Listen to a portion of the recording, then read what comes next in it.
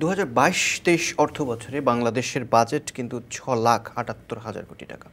একটি বিশাল বাজেট এবং আমরা এই সক্ষমতা অর্জন করতে পেরেছি। এবং সেখানে এই যে আমাদের যে বাজেটের একটা বড় বিষয় যে সেটা হচ্ছে যে এই বাজেট এর যে আয়টা আসলে কোথা থেকে আসে, সেটা হচ্ছে আমাদের রাজস্ব। এবং সেক্ষেত্রে এনবিআর একটি গুরুত্বপূর্ণ ভূমিকা পালন করে। এবং এবছরই দেখা যাচ্ছে যে এনবিআর এর শুধুমাত্র এনবিআর এর থেকেই রাজস্ব লক্ষ্যমাত্রা হচ্ছে তিন লাখ সত্তর হাজার কোটি টাকা। এই যে বিশাল অঙ্কের একটা রাজস্ব, সেই রাজস্ব নানাভাবে আমাদেরকে আদায় করতে হয় এনবিআরকে। কিন্তু একটা বিষয় দেখা যাচ্ছে যে এই যে রাজস্ব নানা কারণে, মামলা, বিশেষ করে মামলার দীর্ঘসূত্রিতায় মামলা জটের কারণে অনেক সময় প্রায় আমরা একটা আজকে প্রতিবেদন প্রকাশ করছিলাম, সেখানে দেখা যাচ্ছে যে এই প্রায় হচ্ছে মানে বত্রিশ হাজার মামলায় পঞ্চাশ হাজার কোটি টাকার মতো রাজস্ব বকেয়া হয়ে রয়েছে, ঝুলে আছে। এই বিষয়টা নিয়ে আজকে আমাদের আলোচনা আমাদের আজকের আলোচনার বিষয় মামলা জটে রাজস্ব আপনাদেরকে সবাইকে স্বাগত জানাচ্ছি আপনার সঙ্গে অনুষ্ঠানে। এবং আছি আমি তপন মাহমুদ এবং আমাদের এই মামলা জটে রাজস্ব রাজস্ব এই বিষয়টি নিয়ে আলোচনার জন্য আমাদের সঙ্গে রয়েছেন শাহ মঞ্জুরুল হক আইনজীবী বাংলাদেশ সুপ্রিম কোর্ট। আপনাকে স্বাগত ধন্যবাদ আপনাকে। যে আমরা বলছিলাম যে এই যে বড় একটা বাজেট এবং এই যে বাজেটের সক্ষমতা আমরা অর্জন করেছি নিশ্চয়ই এই রাজস্বের উপর ভিত্তি করি হ্যাঁ নিশ্চয়ই আমরা ব্যয় করতে পারছি, কারণ আয়ের আমাদের একটা সুযোগ রয়েছে। কিন্তু এইখানে একটা বড় দেখা যাচ্ছে যে বড় একটা অঙ্ক আমরা আটকে যাচ্ছে নানা রকম মামলা জটিলতায়। কেন আসলে এই মামলা জটিলতাটা কেন হচ্ছে? কি মনে হচ্ছে আপনার কাছে? আপনি প্রথমে একটা হিসাব দিয়েছেন যে আমাদের বাজেটের প্রায় সেভেন্টি পার্সেন্ট রেভিনিউ থেকে আসে। সো রেভিনিউটা তিন রকম হয়। আমাদের যেটা হয় বেসিক্যালি বেসিক্যালি তিন রকম। একটা হচ্ছে কাস্টম ডিউটিস থেকে আসে ভ্যালু অ্যাডেড ট্যাক্স থেকে আসে, যেটাকে আমরা ভ্যাট বলি আর একটা হচ্ছে ইনকাম ট্যাক্স থেকে আসে। এছাড়াও বিভিন্ন সাপ্লিমেন্টারি ডিউটিজ আছে পেরুল পেমেন্ট আছে, এগুলি থেকেও আমাদের ট্যাক্স আসে। সো এই ট্যাক্স আদায়ের রেভিনিউ আদায়ের নাইনটি এইট পার্সেন্ট দায়িত্ব হচ্ছে ন্যাশনাল বোর্ড অফ রেভিনিউয়ের আর আমাদের সব কিছু মিলিয়ে প্রায় এইট্টি ফাইভ পার্সেন্ট রেভিনিউ আসে হচ্ছে বিভিন্ন খাত থেকে। এখন এই খাত থেকে ধরেন আগে আমাদের কিন্তু আরও বেশি প্রবলেম ছিল আদায়ের বেলায়। এখন যে জিনিসটা হয়েছে যে আইনগুলিকে অনেক সংশোধন করা হয়েছে এবং রেভিনিউ অফিসার যারা থাকেন এনবিআর এর কাস্টমসের যারা অফিসার থাকেন, তারপর ভ্যালু অ্যাডেড ট্যাক্স আলাদাভাবে ভ্যাটের অফিসাররা থাকেন ইনকাম ট্যাক্সের জন্য আলাদা অফিসাররা থাকেন, তারা রেভিনিউ কালেক্ট করার জন্য সর্বাত্মক প্রচেষ্টা কিন্তু চালিয়ে যাচ্ছেন, তারা কিন্তু বসে নাই। প্রথম যে জিনিসটা এখানে হয় যে আমাদের দেশের মানুষ কিন্তু এই ট্যাক্স ভ্যাট বা রেভিনিউ ব্যাপারটা খুব একটা সচেতন না। আপনার সাধারণ মানুষ বাদ দেন। ইভেন আমাদের আইনজীবীদের মাঝেও মানে রেভিনিউ সেক্টরে প্র্যাকটিস করা আইনজীবীর সংখ্যা খুবই কম। যারা নর্মালি হাইকোর্ট সুপ্রিম কোর্ট বাদে এই রেভিনিউ বিভিন্ন ট্রাইব্যুনালের মাধ্যমে কমিশনার সাহেবরা, তারপর ডেপুটি কমিশনার ওনাদের পর্যায়ে কিন্তু মামলার নিষ্পত্তি হচ্ছে। সেই লেভেলেও যারা আইনজীবী রয়েছেন বা ট্যাক্স প্র্যাকটিশনার রয়েছেন, আইনজীবী ছাড়াও কিন্তু ওখানে প্র্যাকটিস করার সুযোগ আছে আইটিপি হিসেবে। সেই জায়গাটায় কিন্তু তারা প্র্যাকটিস করে যাচ্ছেন। কিন্তু আমি আমার অভিজ্ঞতা থেকে আমি বলব যে ট্যাক্স এবং ভ্যাট এবং কাস্টমসের আইনগত বিষয় নিয়ে তারা যতটা না ওয়াকিফহাল থাকেন, তার চেয়ে বেশি ওয়াকিফহাল থাকেন যে কীভাবে ট্যাক্স কমিয়ে আনা যায়, কীভাবে ভ্যাট থেকে মুক্তি দেওয়া যায়, কীভাবে ট্যাক্স ফাঁকি দেওয়া যায়, ইত্যাদি ইত্যাদি বিষয়গুলো কিন্তু আমাদের এখনও মুখ্য বিষয়। এক তো হচ্ছে আমরা অ্যাওয়ার না দ্বিতীয় হচ্ছে ট্যাক্স ভ্যাট ফাঁকি দেওয়ার একটা প্রবণতা আমাদের মাঝে এখনও রয়ে গেছে। আমরা এটা চিন্তা করি না যে আমাদের গভর্নমেন্ট কীভাবে চলবে বা ইত্যাদি ইত্যাদি। সো আমি সবাইকে বলব না কিছু কিছু কোম্পানি এখনও আছে ইন্ডিভিজুয়ালস এখনও আছে তারা হাইয়েস্ট ট্যাক্স পে করতেছে এবং প্রপারলি ট্যাক্স পে করতেছে। তারা মানে কর্পোরেট কর্পোরেশন ট্যাক্স যেটা আছে সেখানে অনেকগুলি ভালো ভালো কোম্পানি এখন আমাদের আছে যারা কিন্তু hundred percent tax compliance company so এই যে দেওয়ার প্রবণতাটা এটা প্রথম দিকটা। আর আপনি যেটা বললেন মামলা জোটের যে বিষয়টা শুরু হচ্ছে সেটা হলো এই না দেওয়ার প্রবণতার থেকে। দেখা যাচ্ছে যে ভ্যালু অ্যাডেড ট্যাক্সে যে ধরনের মামলাগুলি হয় সেখানে দুইটা অ্যাকাউন্টস মেনটেন করে কোম্পানিগুলি একটা অ্যাকাউন্টস হচ্ছে যেটা তারা ভ্যাট অফিসে জমা দেয়। ম্যাক্সিমাম ক্ষেত্রে এটা হয়। আমি কিছু গোপন কথাই বলে দিচ্ছি ক্যামেরার সামনে। তারা দুইটা অ্যাকাউন্টস হয়তো মেনটেন করে। একটা অ্যাকাউন্টস ভ্যাট অফিসে দেওয়ার জন্য আর একটা অ্যাকাউন্টস মেনটেন করে তার নিজের কোম্পানির জন্য। সেখানে দেখা যাচ্ছে যে সেলগুলি হচ্ছে, তার যে ভ্যালু অ্যাডেড ট্যাক্স দেওয়ার যে পরিমাণে দেওয়ার কথা, সেই পরিমাণে সে দেখাচ্ছে না, অথবা দশটা সেল হলে পাঁচটাকে সে ট্যাক্স অফিসের জন্য দেখাচ্ছে আর পাঁচটা সে দেখাচ্ছেই না। তো এই যখন দেখাচ্ছে না, হঠাৎ করে দেখা গেল ভ্যাটের অফিসাররা একদিন এসে অফিসে হানা দিল, ওখানে দেখা গেল যে তার বিভিন্ন ওই ওই কম্পিউটার হয়তো সিজ করে ফেলল সিজ করে পাওয়া গেল যে তার কোটি কোটি টাকা ওখানে ভ্যাট ফাঁকি হয়ে গেছে। এখন এই যে ভ্যাট ফাঁকির যে মামলাটা হয় আমাদের দেশে এখন এটার হলো three four five tier system revenue কালেকশনের যে মামলার পদ্ধতি সেখানে five tier system VAT tax এবং কাস্টম তিনটার বেলায়।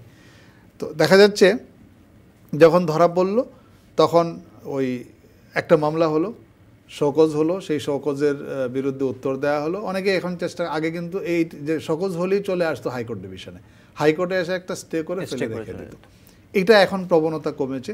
হাইকোর্ট ডিভিশন এখন এটা মোটামুটি decided by the high court division and appellate division যে এই শোকজ নোটিসের বিরুদ্ধে কোনো মামলা করা যাবে না। আপনাকে ভ্যাটের কমিশনারের কাছ থেকে এটা রায় নিতে হবে অ্যাডজুডিকেশন রায় নিতে হবে তার বিরুদ্ধে আপিল হবে তার বিরুদ্ধে অ্যাপিলেট ট্রাইব্যুনাল হবে তার বিরুদ্ধে হাইকোর্ট ডিভিশন হবে তার বিরুদ্ধে অ্যাপিলেট ডিভিশন হবে। মানে এপিলেট ডিভিশনে যেতে এখন অনেকগুলো আপনি যেটা বলছেন পাঁচটা টায়ার আমাদের বিচার ব্যবস্থা এই পাঁচটা টায়ার সিস্টেমে আমাদেরকে যেতে হয়। আমি এখানে দুইটা কথা বলব। আপনি যেটা বলেছেন যে মামলা জট সেটা হচ্ছে এই মামলা জট কমানোর জন্য দুইটা দিক থেকে সচেষ্ট হতে হবে। একটা হলো এনবিআর এর তরফ থেকে তাদেরকে রেডি থাকতে হবে যে যখন এরকম মামলা জট হবে তখন মামলাগুলি নিষ্পত্তির বেলায় অনেক ক্ষেত্রে দেখা যাচ্ছে যে দুই বছর তিন বছর চার বছর এমনকি পাঁচ বছরেও কোনো রায় হচ্ছে না। আচ্ছা। সো মামলা যখন হবে নির্দিষ্ট ডেট দিয়ে আপনার যারা ভেট পেয়ার থাকে বা ট্যাক্স পেয়ার থাকে তাদেরকে সুনির্দিষ্ট নোটিশ দিয়ে একটা টাইম স্লট দিয়ে যে এটা এই কদিনের মধ্যে আমাকে নিষ্পত্তি কর- ওখানে কিন্তু টাইম দেওয়া আছে লগুলিতে যে এতদিনের মধ্যে নিষ্পত্তি করতে হবে। কিন্তু আমরা এটা হাইকোর্ট ডিভিশনের রায় আছে যে এই ডেটগুলি নট ম্যান্ডেটরি এগুলি হচ্ছে ডাইরেক্টরি যে এই ডেটের মধ্যে যদি কেউ নিষ্পত্তি করতে না পারে তাহলে তার কোনো সমস্যা হবে না বা তার তেমন কিছু হবে না। সো এই কারণে কিন্তু মামলা জটগুলি হচ্ছে। আপনি সিমালটেনিয়াসলি আপনি যদি ট্যাক্সের ব্যাপারে বলেন, তাহলে সেখানেও ট্যাক্স আমরা দেই কীভাবে? কর্পোরেট ট্যাক্স এখন আমাদের অনেক কমপ্লায়েন্স কোম্পানি আছে আমি যেটা আগেই বললাম। অনেক ভালো ভালো কোম্পানি এখন তৈরি হয়েছে। যেমন আপনার এসিটি গ্রুপের কথা বলেন বেক্সিমকোর কথা বলেন আপনার স্কোয়ারের কথা বলেন ইনসেপ্ট আমি নাম কয়টা বলব? এরকম প্রচুর ভালো কোম্পানি আছে যারা এখন ট্যাক্স ফাঁকির কথা কিন্তু চিন্তাও করে না। তারা ট্যাক্স কমপ্লায়েন্স কোম্পানি আমরা বলব। তারা ট্যাক্স দিচ্ছে ইন্ডিভিজুয়ালরা অনেকেই আছে তারা প্রপারলি ট্যাক্স দিচ্ছে। বরঞ্চ এখন অনেক ক্ষেত্রে এই যে ট্যাক্স কার্ড দেওয়া হয় আমাদেরকে মানে ট্যাক্স আইডেন্টিফিকেশন নাম্বার দেওয়া হয় অ্যাওয়ার্ড দেওয়া হয় সেগুলি নিয়ে আমরা এখন মোটামুটি অনেকেই প্রাউড কোম্পানিও আছে যে না আমরা hundred percent tax compliance company তো তারা কিন্তু ট্যাক্স দিচ্ছে। তো বিপত্তি কোথায় হচ্ছে? যে যেখানে ট্যাক্স প্রপারলি দেওয়া হচ্ছে না সেখানে কিন্তু ডেপুটি কমিশনার অফ ট্যাক্স একটা রায় দিচ্ছে। তার বিরুদ্ধে কমিশনারে আপিল হচ্ছে তার বিরুদ্ধে ট্রাইব্যুনালে আপিল হচ্ছে তার বিরুদ্ধে হাইকোর্টে রেফারেন্স হচ্ছে তার বিরুদ্ধে অ্যাপিলের ডিভিশন হচ্ছে। তাহলে আবার ফাইভ টায়ার তাহলে একটা ট্যাক্স বা ভ্যাট নিয়ে যখনই ডিসপিউট তৈরি হচ্ছে সেই ডিসপিউটটা সমাধান করতে কিন্তু তাকে পাঁচটা স্টেপ পর্যন্ত ওয়েট করতে সুযোগ থাকে। তাহলে যদি দুই বছর করে ধরেন পাঁচটা স্টেপ তাহলে গড়ে আপনার দশ বছর লাগতেছে এই ট্যাক্সটা আদায় করতে যেয়ে। সো এই ক্ষেত্রে আমার একটা সাজেশন থাকবে এখানে দুইটা সাজেশন একটা হচ্ছে মামলা যখন হবে তখন ট্যাক্স বা ভেট অফিসাররা যদি খুব সচেতন হন তাহলে তারা নিজেরা শুধুমাত্র আইনজীবীর উপর ডিপেন্ড না করে নিজেরা যদি দেখবা এখন কিন্তু করে অনেক সময়। আপনি অ্যাটর্নি জেনারেল অফিসে গেলে দেখবেন অফিসাররা বসে আছে তারা মামলা ত্বরান্বিত করার জন্য বলছে। তারপর বিভিন্ন ভালো আইনজীবী তারা নিয়োগ দিচ্ছে। এবং আমাদের সরকারি অফিসের আরেকটা প্রবলেম হচ্ছে যে আগেকার দিনে লয়াররা যেরকম ফিস নিত এখন কিন্তু ওই কর্পোরেট প্র্যাকটিস বলেন বা বিজনেস আমাদের দেশে এখন অনেক বোস্ট করেছে যেটা বললেন যে রেভিনিউয়ের সক্ষমতা আমরা অর্জন করে প্রায় সাত লাখ কোটি টাকার। বাজেট আমরা দিচ্ছি। সেই ক্ষেত্রে রেভিনিউ বেড়েছে। সেই ক্ষেত্রে ভলিউম বিজনেস ভলিউম বেড়েছে। কর্পোরেট ওয়ার্ল্ড অনেক বড় হয়েছে বাংলাদেশের। সেক্ষেত্রে লয়ারদের ফিসও কিন্তু অনেক বেড়েছে। এখন দেখা যাচ্ছে ট্যাক্স অফিস যাকে নিয়োগ দিচ্ছে তাদের ফিসের একটা স্ল্যাব আছে। যে ফিসে খুব বড় লয়াররা কিন্তু যেতে চায় না। অন দি আদার হ্যান্ড যারা ইন্ডিভিজুয়াল পার্টিজ আছে তার যেহেতু ভালো লয়ার দিয়ে ফাইট করলে সে কোটি টাকা সেভ করতে পারবে। কোনো কোনো ক্ষেত্রে দেখা যাচ্ছে একশো কোটি টাকা দুইশো কোটি টাকা এবং VAT claim tax VAT claim এমনও আছে আমাদের এক হাজার কোটি টাকা পর্যন্ত কিন্তু ট্যাক্স ভ্যাট ক্লেম আছে। তো তারা তখন কি করে? তারা- তখন খুব জায়ান্ট লয়ার যারা বড় বড় গ্রামীণ ফোনের ক্ষেত্রে দেখেছি অনেক বড় গ্রামীণ ফোন কদিন আগে আমেরিকান টোবাকো ছিল এয়ারলাইন্সের আমি একটা করি এমিরাত সহ অন্য অন্য এয়ারলাইন্স তো এইসব ক্ষেত্রে দেখা যাচ্ছে প্রায় দুইশো তিনশো পাঁচশো কোটি টাকার ভ্যাট ক্লেম বা ট্যাক্স ক্লেম তো সেই ক্লেমটা না দেওয়ার জন্য তারা কি করে? বড় বড় আইনজীবী এঙ্গেজ করে টাইম কনজিউম করে। এইভাবে সময়টা ব্যয় হয়। সো এখানে যে সিস্টেমটা করতে হবে খুব ভালো লয়ার নিয়োগ দিতে হবে এনবিআরকে যেন এই মামলাগুলি সরকারি অফিস তো আছেই অ্যাটর্নি জেনারেল অফিস আছে তারা তাদেরকে হেল্প করছে। তার সাথেও কিন্তু তারা একসময় দিয়েও ছিল মাঝে মাঝে। তো তারা যদি খুব ভালো লয়ার এঙ্গেজ করে এবং মামলাগুলি স্পেশালি দেখা হয় তাহলে কিন্তু এই জটটা কমতে পারে। আরেকটা ইস্যু এখানে আছে সেটা হচ্ছে আমাদের কোর্ট সিস্টেম আপনি দেখুন আজ থেকে দশ বছর আগেও কিন্তু ইনকাম ট্যাক্স কাস্টম ভ্যাটের জন্য আলাদা কোনো কোর্ট ছিল সুপ্রিম কোর্ট হাইকোর্ট ডিভিশনে ওই নিম্ন লেভেলে মামলা হতো এখানে যেগুলি রিড কোর্ট ছিল কমন রিট কোর্টগুলিতেই আমরা বিভিন্ন সময় যেতাম। কিন্তু এইটাকে আমরা তখন একটা দাবি তুললাম যে প্রচুর মামলা হাইকোর্ট ডিভিশনে আসছে ইনকাম ট্যাক্স রেফারেন্স থেকে ভ্যাট থেকে। তো সেই মামলাগুলি যেন শোনার জন্য আলাদা বেঞ্চ দেওয়া হয়। তখন প্রথম একটা বেঞ্চ দেওয়া হলো। তারপর আস্তে আস্তে আস্তে আস্তে এখন তিনটা কি চারটা- বেঞ্চ এখন দেওয়া হয়েছে হাইকোর্ট ডিভিশনে। এবং আমি বলব যাদেরকে এই জুরিসডিকশনটা দেওয়া হয়েছে তারা সবাই খুব ভালো বিচারপতি। এবং খুবই যত্ন সহকারে আমি বলব বুদ্ধিমত্তার সাথে ইন্টেলিজেন্স অ্যাপ্লাই করে তারা এই ভ্যাট ট্যাক্স আদায়ের জন্য বা মামলাগুলি দ্রুত নিষ্পত্তি করার জন্য কিন্তু তারা স্টেপ নিচ্ছেন। তা আমি বলব যে কোর্টের, আমাদের সুপ্রিম কোর্ট এবং হাইকোর্ট ডিভিশনের দিক থেকে এই ভ্যাট নিষ্পত্তি বা ট্যাক্সের মামলাগুলির যে মামলা জোটের নিষ্পত্তি আছে, সেগুলি নিষ্পত্তির জন্য এখন যে উদ্যোগ সেটা আগের যে কোনো সময়ের চেয়ে কিন্তু ভালো উদ্যোগ। কিন্তু আমি তারপরেও বলব যে ভালো উদ্যোগ হওয়ার পরেও যে এই যে মামলার সংখ্যাও আপনি বলেছেন যে প্রায় পঞ্চাশ হাজার মামলা দেখা যাচ্ছে যে আপিল বিভাগেই শুধুমাত্র ছয়শো একানব্বইটি মামলা এখন রয়েছে 691 টি হাইকোর্টে রয়েছে। রয়েছে প্রায় পাঁচ হাজারের বেশি। হ্যাঁ। তো এই যে জায়গাটা মানে নিশ্চয়ই মানে আপিল বিভাগের এই ছয়শো একানব্বইটি মীমাংসা করতেও তো অনেক দিন সময় লেগে যাবে। অনেকদিন সময় লাগে। এপিল বিভাগে হাইকোর্ট থেকে আবার সেগুলো নিশ্চয়ই আবার হ্যাঁ। আপিল বিভাগে ট্যাক্সের একটা আপিল শুনতে গেলে ধরেন সারাদিনে দুই দিন বা তিন দিন শুনে শুনেন ওনারা দুই দিন ধরেন। একদিনে ট্যাক্স আপিল বা ভেট আপিল যদি মেরিটে ওনারা শুনেন তাহলে পাঁচটার বেশি ওনারা শুনতে পারেন না। তো এই হিসাবে যদি আপনি করেন একটা বেঞ্চ কিন্তু হাইকোর্ট ডিভিশনে আলাদা করা হয়েছিল শুধুমাত্র ভ্যাট ট্যাক্সের জন্য দ্বিতীয় বেঞ্চ যেটা।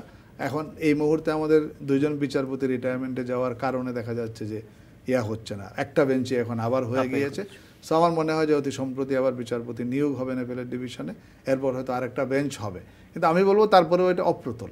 কারণ আপনার যেখানে পাঁচশো মামলা জমে আছে সেখানে প্রতিদিন প্রায় তিরিশটা মামলা নিষ্পত্তি করতে পারলেও আমরা একটা মানে অন্তত ট্যানেলের শেষ প্রান্তে আলো দেখতে পাই। কিন্তু তিনটা চারটা মামলা নিষ্পত্তি করে কিন্তু কারণ আপনি নিষ্পত্তি করবেন তিনটা আরও ফাইল হচ্ছে কিন্তু পাঁচটা। তাহলে তো হ্যাঁ সেই সংখ্যাটা ছয়শো থেকে তো কমবে না আরও বাড়বে। সুতরাং এটার জন্য একটা ভালো ইনিশিয়েটিভ নিতে হবে। প্রয়োজনে অ্যাপিল বিভাগে আরও বিচারপতি নিয়োগ করে নিষ্পত্তির জন্য ব্যবস্থা নিতে হবে। একটা বিষয় এনবিআর এর ক্ষেত্রে রাজস্ব আদায়ের তারা যে পদ্ধতিগুলো এখন অনুসরণ করে সেই জায়গায় কোনো ধরনের পদ্ধতিগত জায়গায় কোনো পরিবর্তন বা পরিবর্তন বা সংশোধন নিয়ে আসলে কি এই মামলা করার সুযোগ কমে যাওয়ার সম্ভাবনা আছে কিনা বা এমন কিছু রয়েছে কিনা যার ফলে এই মামলাগুলো কমে যেতে পারে মামলার সংখ্যা। কারণ মামলার সংখ্যা যদি না কমে, তাহলে জট তো আসলে কোনোভাবেই কমা সম্ভব নয়।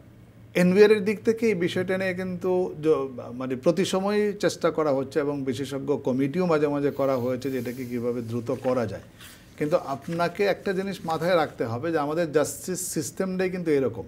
আমি আপনাকে যে জিনিসটা বললাম যে ফাইভ টায়ার জাস্টিস সিস্টেম এর মানেটা কি? এর মানেটা হচ্ছে যে কোনো নাগরিকের প্রতি যেন অন্যায় করা না হয়, কোনো নাগরিকের কাছ থেকে যেন অন্যায় জুলুম করে ট্যাক্স ব্যাট আদায় করা না হয়।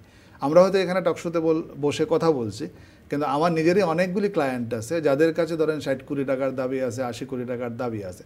সেই দাবিগুলো যদি জাস্টিফাইড না হয়, তাহলে একজন যদি শুধুমাত্র ভ্যাট ট্যাক্স দিয়েই যদি সে সর্বশান্ত হয়ে যায়, তাহলে তার জন্যও কিন্তু এটা অনেকটা জুলুম আমি বলব। সো রাষ্ট্র কখনোই একটা নাগরিকের কাছ থেকে অন্যায় বা জুলুম করে তার কাছ থেকে রেভিনিউ বা ট্যাক্স নিতে পারে না। দ্যাটস ওয়াই কিন্তু যেমন একটা জমির মামলা কিন্তু আমাদের থ্রি টায়ার সিস্টেম বা ফোর টায়ার সিস্টেম একটা ক্রিমিনাল মামলা অনেক ক্ষেত্রে থ্রি টায়ার সিস্টেম কিন্তু এনবিআর এর বেলায় দেখা যাচ্ছে বিভিন্নভাবে এটা ফাইভ টায়ার সিস্টেমে চলে যাচ্ছে।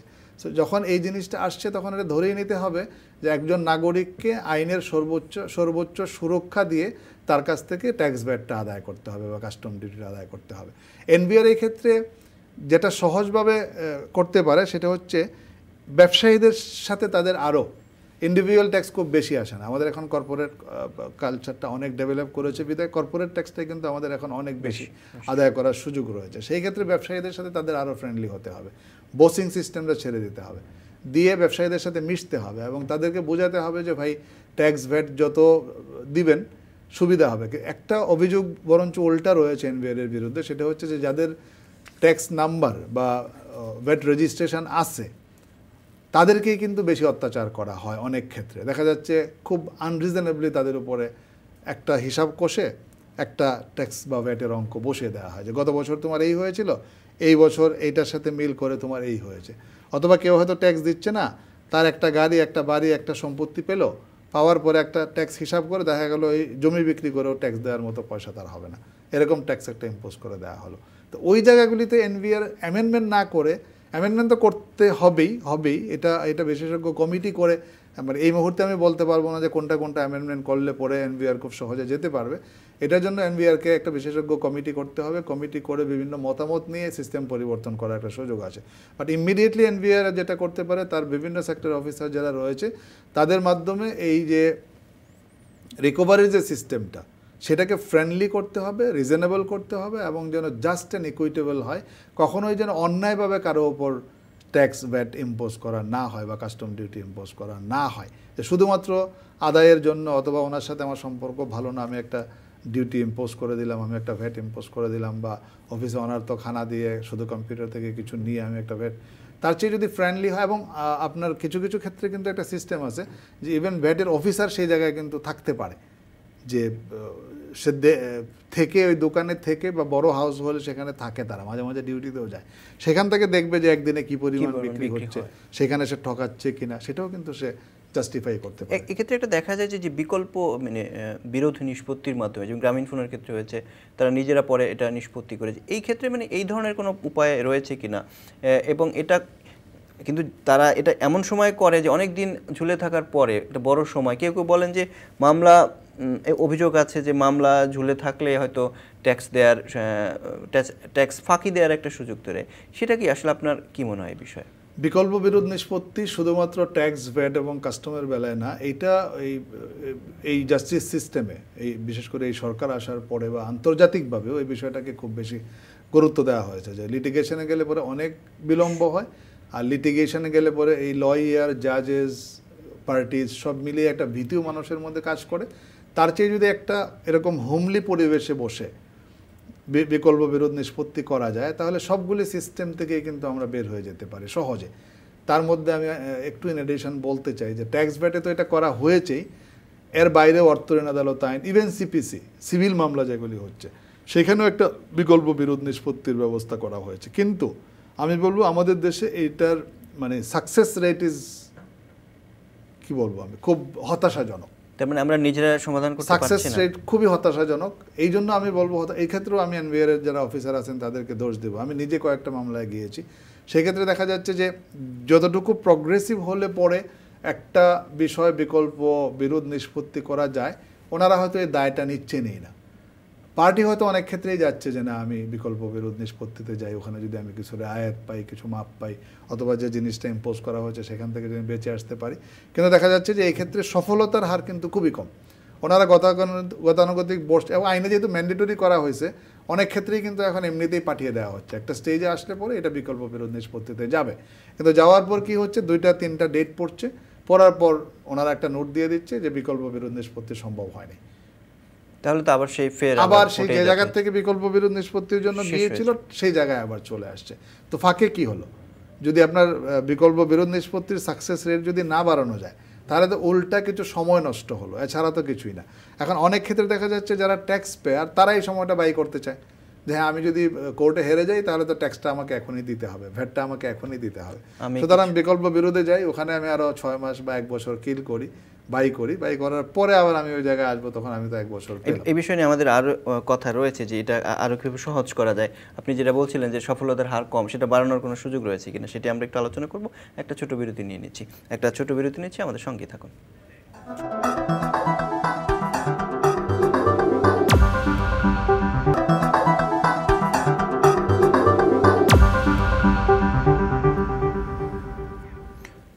আবার স্বাগত আপনার সঙ্গে অনুষ্ঠানে। আমরা আজ কথা বলছিলাম মামলা জটে রাজস্ব। আমাদের সঙ্গে রয়েছেন বাংলাদেশ সুপ্রিম কোর্টের আইনজীবী শাহ মঞ্জুরুল হক। মঞ্জুরুল হক, আমরা বলছিলাম বিকল্প নিরোধ বিরতি নিষ্পত্তি নিয়ে। সেখানটায় আপনি একটু বলার চেষ্টা করেছিলেন যেখানে সফলতার হার আমরা প্রত্যাশিতভাবে পাচ্ছি না।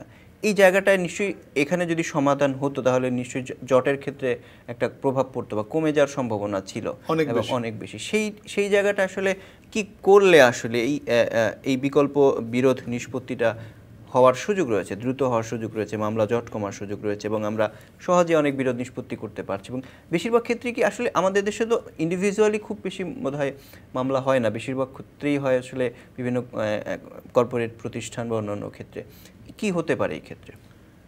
এটা মডার্ন জুরিসপ্রুডেন্সের মানে ট্রেন্ডেই হচ্ছে বিকল্প বিরোধ নিষ্পত্তি। তাতে একটা মানুষ যেটা বললাম যে সহজেই সে তার বিষয়টা থেকে নিষ্পত্তি পেতে পারে এবং একটা হোমলি এনভায়রনমেন্টে যে ট্রান্সপারেন্ট ওয়েতে একজন কর্পোরেট হাউস একটা কর্পোরেট হাউস বসল এনবিআর এর লোকজন বসল, আবার তার লয়ার বসল বা এনবিআর এর লয়ার বসল, তারা মিলেমিশে একটা নিষ্পত্তিতে যাওয়াটাই খুব স্বাভাবিক। এবং আইনের যে কাঠামো যেভাবে করা হয়েছে আমি আইনের দোষ দেবো না আইনের কাঠামো ঠিক আছে। কিন্তু সেই ক্ষেত্রে আমাদের মানসিকতার কিছুটা পরিবর্তন ঘটাতে হবে। সেক্ষেত্রে ধরেন মানে যে কারণে যে যুক্তিতে ট্যাক্স বা ভ্যাটটা ইম্পোজ করা হয়েছে আমরা যদি সেই যুক্তি বা কারণটাকে অ্যাভয়েড করতে পারি যে না ওখানে ট্যাক্স পাওনা হয় না অথবা হয়েছে হোয়াট এভার ইট ইস অথবা যে স্ল্যাবে পাওনা হয়েছে সেই অ্যামাউন্ট থেকে যদি কমিয়ে দেওয়া যায় যে না ঠিক আছে আমি যদি মানে পাঁচ বছর মামলা করে আমি যদি এক কোটি টাকা আদায় করি আর আমি যদি পাঁচ বছর আগে সেখানে আশি লক্ষ টাকা আদায় করতে পারি তাহলে কিন্তু আশি লক্ষ টাকা আদায় করাটা মুদ্রাস্ফীতির হিসেবে অনেক লাভ। সময়ের দিক থেকে যদি আপনি বিবেচনা করেন সেদিক থেকেও লাভ এবং কোর্ট কস্ট যদি চিন্তা করেন লয়ার কস্ট কোর্ট কস্ট সেদিক থেকে চিন্তা করলে সেটা কিন্তু। এবং আরেকটা দিকে লাভ হতে পারে আমাদের মধ্যে বিরোধের জায়গাটাও কিন্তু কমে গেল। বিরোধের জায়গাটাও কমে হলো। নিশ্চয়ই। বিরোধের জায়গাটাও কমে গেল। সেই ক্ষেত্রে আমি বলব বোথ দ্য পার্টিস মানে যার কাছে পাওনা হয়েছে কর্পোরেট হাউস অথবা ইন্ডিভিজুয়াল যেই হোক না কেন, তাকেও এগিয়ে যেতে হবে যে আমি বিকল্প বিরোধ নিষ্পত্তি করতে চাই এবং যারা এনবিআর অফিসার থাকেন, তাদেরকে এগিয়ে আসতে হবে। এই ক্ষেত্রে আমি যে শব্দ, বাক্য দিয়ে শুরু করেছিলাম যে ট্যাক্স এবং ভ্যাট দেওয়ার বা কাস্টম ডিউটি পরিশোধ করার যে মানসিকতা, সেটা যদি আমাদের বিজনেসম্যানদের মধ্যে তৈরি হয়, তাহলে কিন্তু আপনার ওই বিষয়টা কখনোই, এবং কাস্টমের ব্যাপারে আমি আপনাকে বলি কাস্টমে কিন্তু ফাঁকি দেওয়ার সুযোগটা এখন কম। ওখানে যদি মিসম্যানেজমেন্ট না হয় তাহলে যখন আমি গুডস আনতেছি তখন আমি জানি কাস্টমসের আপনার একটা সুন্দর শিডিউল দেওয়া হয় যে কোন গুডস আনলে পরে কত ডিউটি আমাকে দিতে হবে। সো সেখানে গুডসের বিপরীতে ডিউটি বলা আছে। তো আপনি যদি গুডসটা আনেন তাহলে যে যে আমদানি করছে সে কিন্তু জানে আমাকে কত ডিউটি দিতে হবে। তাহলে এখানে কিন্তু ফাঁকি দেওয়ার প্রবণতা বা সুযোগ একদমই কম। এবং সে যে ব্যবসা করছে সে কিন্তু তার লাভটা ধরেই ব্যবসা করছে। যে আমি যদি এত টাকার গোডস আনি আমাকে এত টাকার ডিউটি দিতে হবে কাস্টম ডিউটি দিতে হবে, এত টাকা ভ্যাট আসবে এবং শেষে আমার এত ট্যাক্স হবে। এইটা বাদ গেলে পরে আমার কত টাকা অন্য কষ্ট আছে, সব মিলে এসে লাভ হিসাব করে কিন্তু গোডসটা আনতেছে। কিন্তু আমাদের এখানে যে প্রবণতাটা তৈরি হয়, সেটা হচ্ছে এইখানে ফলস ডিক্লারেশনের একটা ইস্যু সবচেয়ে বড় হয়ে দাঁড়ায়। যে আমি হয়তো একটা জিনিস আনতেছি, যেটার ডিউটি হচ্ছে পনেরো পার্সেন্ট আরেকটা ডিউটি হচ্ছে ফাইভ পার্সেন্ট আমি আনতেছি পনেরো পার্সেন্টেরটা বাট আমি ডিক্লারেশন দিচ্ছি ফাইভ পার্সেন্টে। আবার অনেক ক্ষেত্রে দেখা যাচ্ছে এই যে যে গুডসগুলি আনা হচ্ছে যে ডিউটি লেখা আছে কাস্টম নিজে যারা আনতেছে আমদানি করতেছে আমদানি আমদানিকারকরা অনেক সময় ভুল কোড দেয় উদ্দেশ্যমূলকভাবে রং কোড দেয় বা ফলস এইচএস কোড দেয়। আবার অনেক ক্ষেত্রে তারা রাইট এইচএস কোড দিচ্ছে হয়তো এনবিআর এর যারা কর্মকর্তা কাস্টমস কর্মকর্তা যারা আছেন তারা হয়তো দেখা যাচ্ছে যে, যেটা যে কোডে আনা হয়েছে সেটাই হবে, কিন্তু ওনারা বলতেছেন, না, এটা এই করে না হয়ে যেটা বাড়তি আছে সেটা হয়তো ফেলে দিচ্ছেন।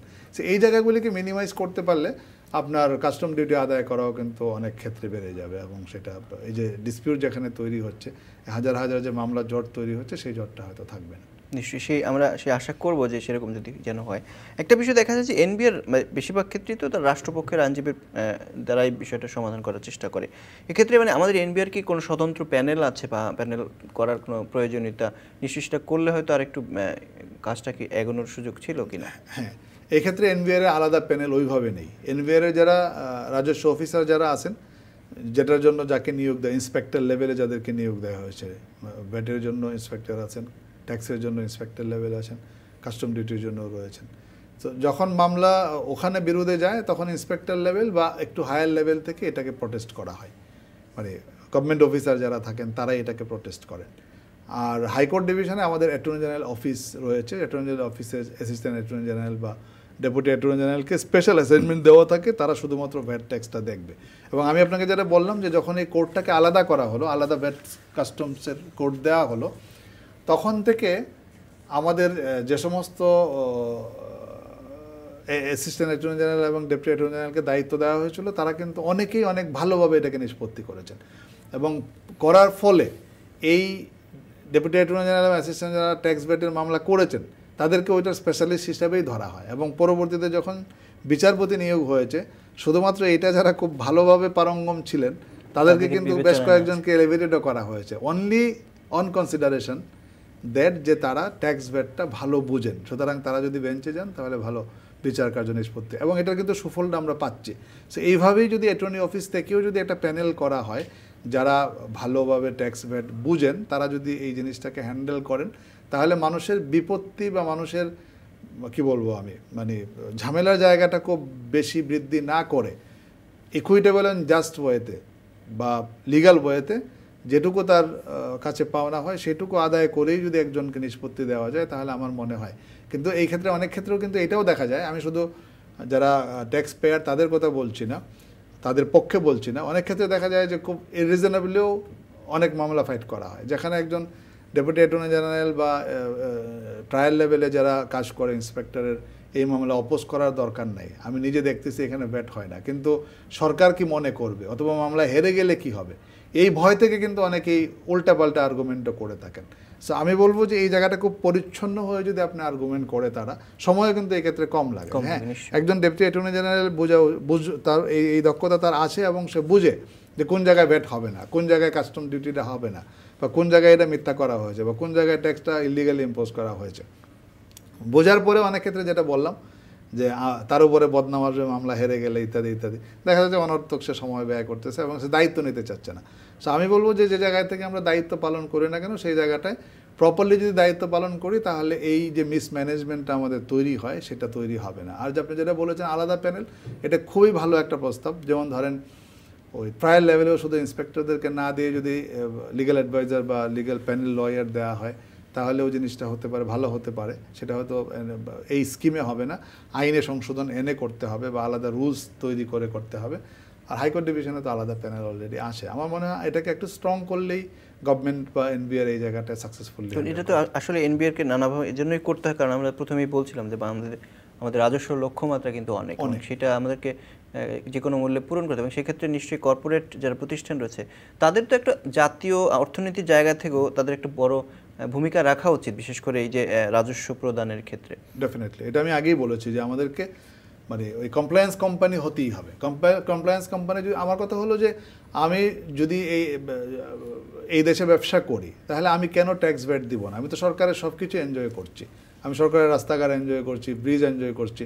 সেদিন খুলনাতে বিএনপির যে মিটিং হলো তো আমাদের কোর্টের অনেক নেতারা আসছেন, বলল যে আমরা তো তিন ঘন্টায় চলে আসছি, চার ঘন্টায় চলে আসছি। যে বললাম পদ্মা ব্রিজের কারণে আসছেন। তো বলে হ্যাঁ সুযোগ তো আমরা নিবই। সো আপনি যেই, যা কিছুই করেন না কেন, যে ব্যবসায়ী করেন না কেন you are taking the advantage of the infrastructure বা ডেভেলপমেন্ট যেটা গভর্নমেন্ট করেছে। তো সেটার এগেনস্টে আপনি কেন ট্যাক্স ভ্যাট প্রপারলি দিবেন না? এই, এইটাই কিন্তু আপনার ব্যবসায়ীদের মধ্যে বলেন ইন্ডিভিজুয়ালদের মধ্যে বলেন রেভিনিউ অফিসারদের সবচেয়ে বড় দায়িত্ব হচ্ছে যে তাদের আদায়ের ব্যাপারে এই আদায়টা করা এবং মানসিকতার পরিবর্তন যাতে মানুষের হয় সেই জায়গাটায় চেঞ্জ আমাদের দেশে যে প্রচলিত আইনগুলো রয়েছে ট্যাক্স ভ্যাটের সেক্ষেত্রে রাজস্ব দিলে কি ধরনের সেক্ষেত্রে তো আইনে থাকবে না কিন্তু রাষ্ট্র নানাভাবে তাকে প্রণোদনা দেওয়ার সুযোগ রয়েছে সেটা রয়েছে কিনা বা কেউ যদি না দেয় তার আসলে কি ধরনের শাস্তিমূলক ব্যবস্থা রয়েছে আমাদের দেশে? আপনার রাজস্ব দিলে ডেফিনেটলি এইটা প্রণোদনার কথা যেটা বললেন প্রণোদনা তো সম্মাননা দেওয়া হচ্ছে এখন। যে যে সেক্টরে হায়েস্ট ট্যাক্স পেয়ার আছে আছে, তাদেরকে দেওয়া হচ্ছে। এছাড়াও কিন্তু ট্যাক্স কার্ড দেওয়া হচ্ছে বিভিন্ন জনকে। কর্পোরেট হাউস যারা VAT compliance company tax compliance company তাদেরকেও কিন্তু অনেক প্রিভিলেজ দেওয়া হচ্ছে। তারপর যারা রেভিনিউ অফিসার তাদের জন্য কিন্তু একটা সেকশন ঢোকানো হয়েছে আলাদা করে যে যারা অনেক বেশি রেভিনিউ আদায় করতে পারবে, তারা সেখান থেকে একটা পার্সেন্টেজ পাবে। যদি ওই এই সেকশনটাকে চ্যালেঞ্জ করা হয়েছে হাইকোর্ট ডিভিশনে এটা বোধহয় এখন অ্যাপিলেট ডিভিশনে বিচারাধীন আছে।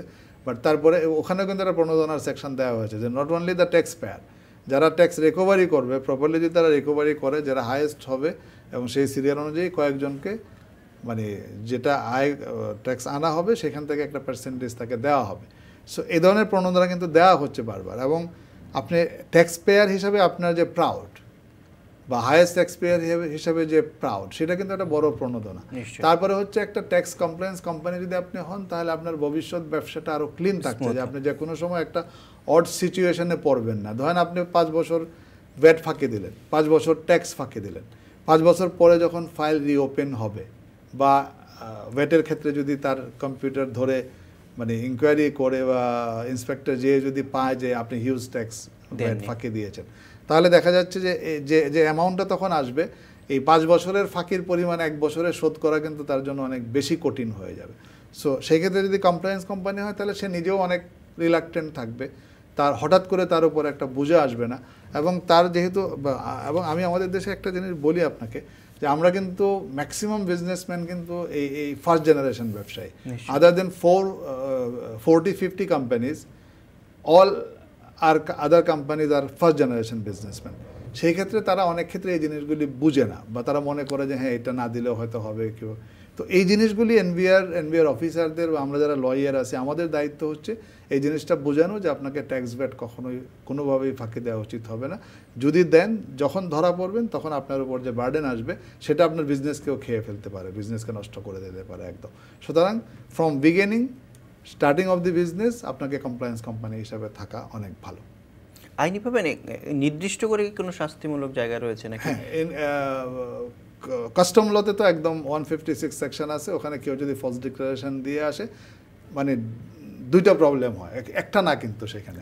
কাস্টমসের বেলায় বলা হয়েছে তার বিরুদ্ধে রিকভারির জন্য যে ডিউটি ফাঁকি দিয়েছে সেটা রিকভারির জন্য ব্যবস্থা থাকবে। পাশাপাশি তার বিরুদ্ধে ফলস ডিক্লারেশনের জন্য মামলা ক্রিমিনাল মামলা হবে। তাহলে সব এখন যতগুলি মামলা হচ্ছে কাস্টমসে আপনি খবর নিয়ে দেখেন আমার কাছে যত ফাইল আছে আমি যতটুকু জানি সব ক্ষেত্রেই যারাই ফলস ডিক্লারেশন দিয়ে গুডস আনতেছে বা বিভিন্ন অ্যানামোলিস তৈরি করে গুডস আনতেছে ডিউটি ফাঁকি দেওয়ার জন্য তাদের বিরুদ্ধে কিন্তু দুইটা মামলা হচ্ছে। একটা ক্রিমিনাল মামলা আর একটা হচ্ছে ট্যাক্স রিকভারি মামলা। তাহলে এই যে ফাঁকির কাজটা করতে যে আপনি দুইটা বার্ডেনে পড়তেছেন। একটা হচ্ছে আপনাকে ডিউটিটা দিতে হচ্ছে ইভেন ডিউটিও কিন্তু ডবল মানে যে পরিমাণ সে ডিউটি ফাঁকি দিল তার দুই গুণ পর্যন্ত জরিমানা দিতে হচ্ছে তাকে। পাশাপাশি তাকে ক্রিমিনাল লাইবিলিটিসও পানিশমেন্টের দিকেও এ বিষয়ে আমরা আলোচনা করব। আর একটা বিরতির সময় আছে আমরা একটা ছোট্ট বিরতি নিয়ে নিচ্ছি। আমাদের সঙ্গেই থাকুন।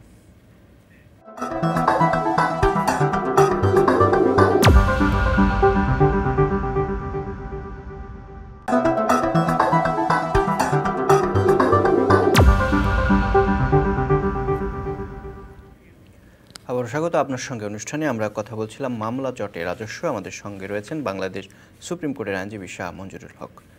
আপনি বলছিলেন আমাদের আইনি কি ধরনের শাস্তিমূলক জায়গা রয়েছে? একটা বিষয় গত বছর একটা অনুষ্ঠানে অর্থমন্ত্রী নিজে বলেছিলেন যে বাংলাদেশের ভ্যাট আইন সহজ করা উচিত।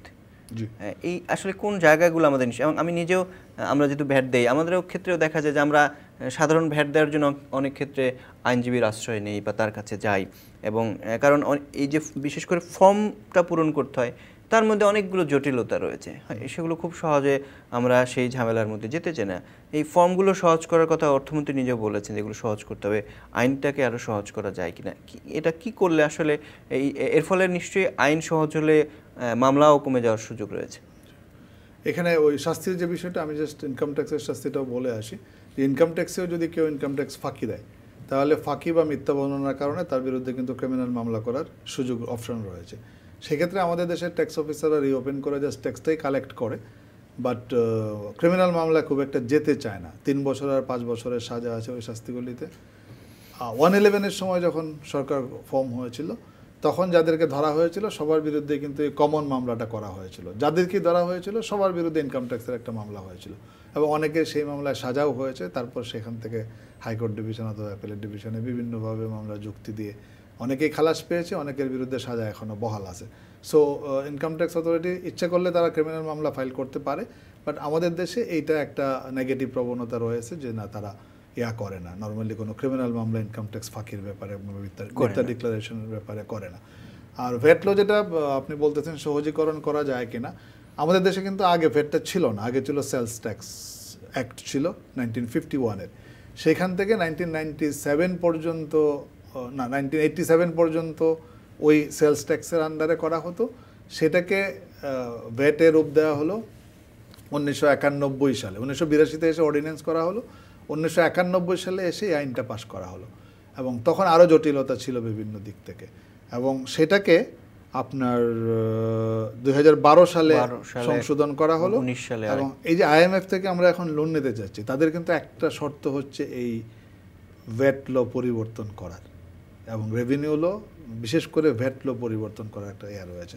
এখন আমাদের ভ্যাটের যে রেটটা আছে, সেটা হচ্ছে হায়েস্ট রেট হচ্ছে কিন্তু ফিফটিন পার্সেন্ট আর নর্মালি ওয়ান পয়েন্ট ফাইভ থেকে শুরু করে two point two two percent two point five আছে ফোর পার্সেন্ট আছে five percent five point five six seven এবং টেন পার্সেন্ট পর্যন্ত আমাদের বিভিন্ন সার্ভিস ক্যাটাগরিতে কিন্তু ভ্যাটের বিধান রয়েছে।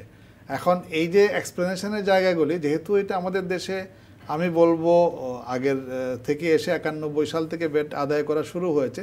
সেই ক্ষেত্রে কিছু অ্যানামোলিস কিন্তু রয়েছে এবং রেভিনিউ অফিসাররাও ভ্যাটের অফিসার যারা থাকেন, তারাও দেখা যাচ্ছে আইনের যে ব্যাখ্যা, সেই ব্যাখ্যা দিতে যেয়ে অনেক ক্ষেত্রে যেখানে ভ্যাট ইম্পোজ করা হবে না সেটা করছেন, অথবা যেখানে ওয়ান পয়েন্ট ফাইভ পার্সেন্ট যে সার্ভিসের কথা বলা হচ্ছে, এই সার্ভিসটা উনি হয়তো টেন পার্সেন্ট করে দিচ্ছেন বা ফাইভ পয়েন্ট সেভেন পার্সেন্ট করে দিচ্ছেন।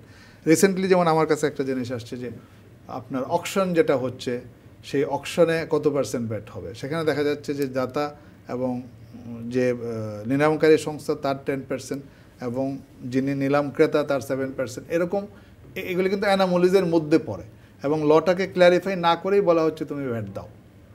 সো এই জায়গাগুলি ডেফিনেটলি অনেক সহজীকরণ করা যেতে পারে। কারণ ভ্যাটটা কিন্তু দিচ্ছে একদম সাধারণ মানুষ। ট্যাক্সটা হচ্ছে যার তিন লাখ টাকা পর্যন্ত রেয়ায়ত আছে। যার লাখ লাখ টাকা ইনকাম আছে সেই ট্যাক্স দিচ্ছে।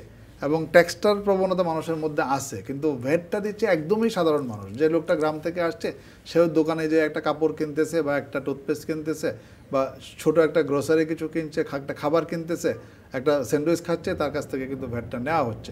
বা সে কিন্তু জানে না কীভাবে নেওয়া হচ্ছে ইত্যাদি ইত্যাদি। এবং যে কর্পোরেট হাউস অথবা যে দোকান বা যে প্রতিষ্ঠান মানে পণ্য বিক্রয় করছে, সে যে ভ্যাট আদায় করছে সে ভ্যাট আদায় করে সে যে সাবমিট করছে ভ্যাটের যে ফর্ম যেটা আপনি বললেন, সেই ফর্মে কিন্তু অনেক জটিলতা আছে। এবং এইটা অনেক ক্ষেত্রে দেখা যাচ্ছে যে ভ্যাট আইন না পড়ে, শুধু লয়ার হওয়ার দরকার নাই অনেকে আমাদের যারা এমবিএ করছে বা কমার্স লাইনে পড়াশোনা করছে বা কর্পোরেট লাইনে জব করবে বলে পড়ালেখা করছে, তারা কিন্তু এই জিনিসগুলি শিখে আসতেছে এবং না শিখে এসে করা যাবে না। তো আমার কথা হলো যে এইটা পড়ালেখা করে শিখতে হবে, এরকম ভ্যাট ফর্ম থাকা উচিত ভ্যাট ফর্মটা এত সহজ হওয়া উচিত যে হ্যাঁ একজন সাধারণ মানুষ যে রেস্টুরেন্টে খেতে গেছে একজন সাধারণ মানুষ যে গ্রোসারি হিসেবে সাবান কিনতে গেছে সেও যেন বুঝে যে না এইটা আমি ভ্যাট দিচ্ছি এবং যে দোকানদার সে যদি পড়ালেখা নাও জানে সে যেন নিজে নিজের ভ্যাটটা ফিল আপ করতে পারে। খুব সহজ ফর্ম করা উচিত এবং রিকভারি সিস্টেমটা খুব সহজ করা উচিত যে হ্যাঁ আমার ওই পণ্য বিক্রয়ের পরে ওখানে ফাঁকি দেওয়ার সুযোগটা যেন না থাকে। এবং ইনকাম ট্যাক্সের ক্ষেত্রে তো ফর্মের বিষয়টা একই রকম। ইনকাম ট্যাক্সের ক্ষেত্রেও একই রকম। জটিল মনে হয় অনেক খুবই জটিল মনে হয়। সেক্ষেত্রে আমরা আরেকটা জিনিস ইম্পোজ করতে পারি যে শুধুমাত্র লয়ারদের মধ্যে সীমাবদ্ধ না রেখে আমরা কিন্তু অনেক ক্ষেত্রে অনেক ঐচ্ছিক বিষয় পড়াই।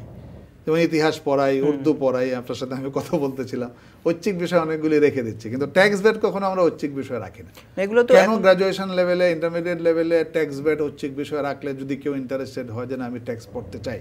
এবং আমি বলব যে বাংলাদেশের ইকোনমি এই যেটা বললাম যে আমরা ফার্স্ট জেনারেশন ব্যবসায়ী হওয়ার কারণে এবং ইকোনমি ওরকম থাকার কারণে আর আমাদের ভিতরে ওই যে চাকরি করব একটা মানসিকতা আছে এইটার কারণে এই ট্যাক্স বেটের দিকে কিন্তু আমরা খুব একটা মনোযোগ দেই না। বাট এখনও আমি বলব যদি আপনি চাকরিও করতে চান ট্যাক্স বেট বা কর্পোরেট লাইন কমার্শিয়াল লাইনে যদি কেউ ট্যাক্স বেট করে, চাকরিও করতে যায়। তার অন্য ওই গার্মেন্টসের নর্মাল সেকশনে কাজ করা আছে ট্যাক্স বেস সেকশনে কাজ করলে কিন্তু তার জ্ঞানের পরিসীমা অনেক বাড়বে এবং তার ইনকামও কিন্তু অনেক বাড়বে এবং সে স্পেশালাইজ হিসেবে কাজ করতে পারবে।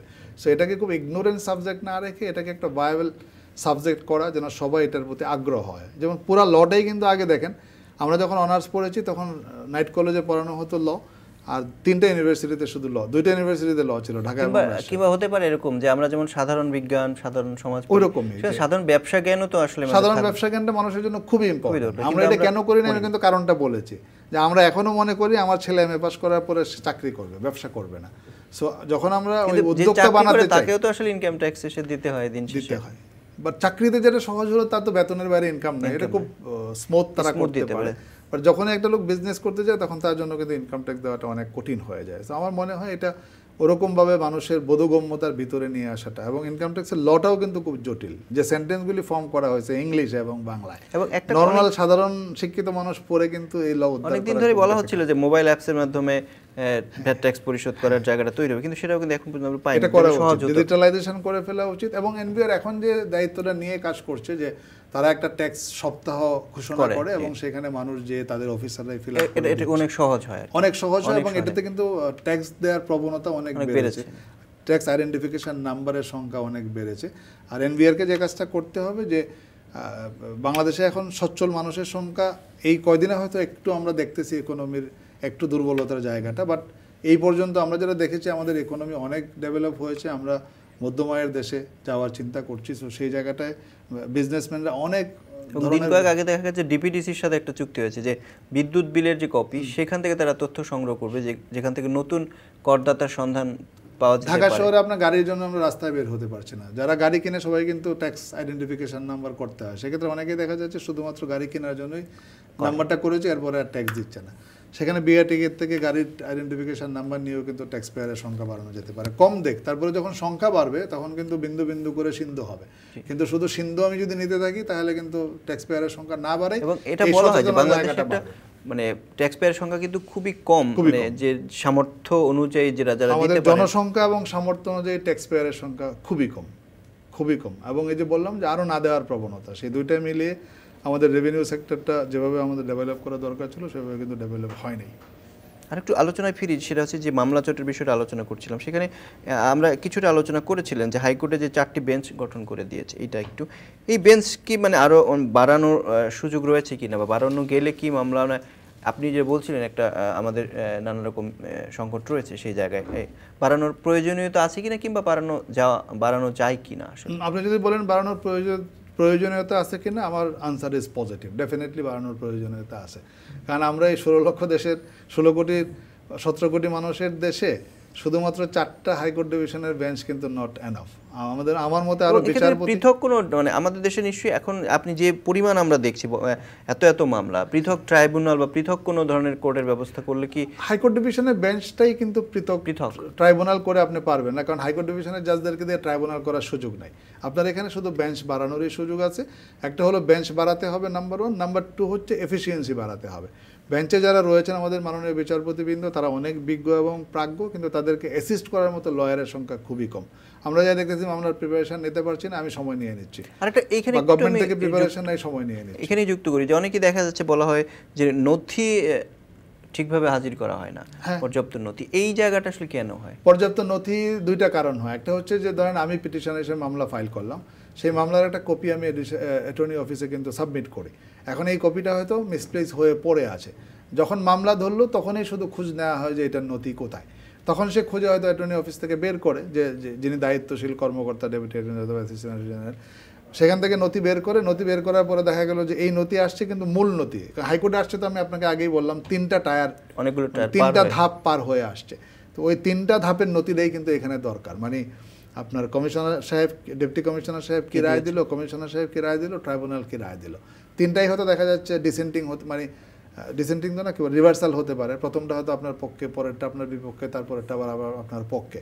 তো এই জন্য সবগুলি কাগজ কিন্তু এখানে দরকার এবং নোট যেগুলি আছে সার্টিফিকেট কপি আমরা দিই সাথে, কিন্তু অফিসিয়াল নোট যেগুলির উপর বেস করে বা রেকর্ড যেগুলির উপর বেস করে অ্যাসেসমেন্টটা করা হয়, সেই নথিগুলি হয়তো দেখা যাচ্ছে কাস্টম অফিসে রয়ে গেছে বা ট্যাক্স অফিসে রয়ে গেছে।